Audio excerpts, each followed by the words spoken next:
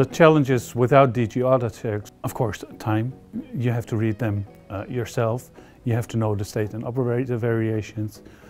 You have to know very clearly the, the transit stations, for instance, as well. And then you have your local uh, variations. They're going to be sent by email by an operator, but they could have been sent like four years ago, three years ago. And then it's like, oh, is it still valid? And how do we look it up? I think we're one step ahead because if we use DG AutoCheck, uh, it's time saving without any failures, so that's good.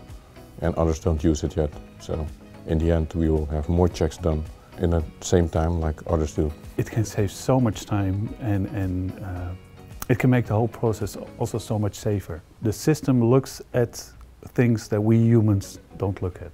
Uh, on the AutoCheck, the, the main features that are benefit are the, the iPad, and uh, you can go to the shipment, and you have the you can have the DGD, the airway bill, and the package preview all on the iPad, so you, you don't need to take the documents to the shipment, which is a, a massive benefit. Automation is a good thing in the industry uh, because automation uh, makes people aware of things, how to proceed yes or no, and DG AutoCheck can show people how they need to perform the job.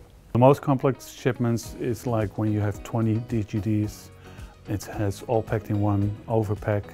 Of course, you have to calculate the Q value, uh, you have to calculate the, the content for the overpack, and those are, can be very complex and time consuming. And DG AutoCheck will do it in a couple of seconds. A DG AutoCheck is URL based, so it's very convenient that people from they can work from home doing the document check. Uh, the operations changed and that we're now smarter. The, the dynamic is, is the way forward.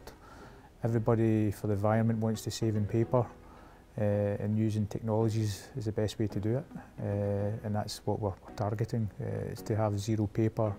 It's something that we'd, we'd like to achieve.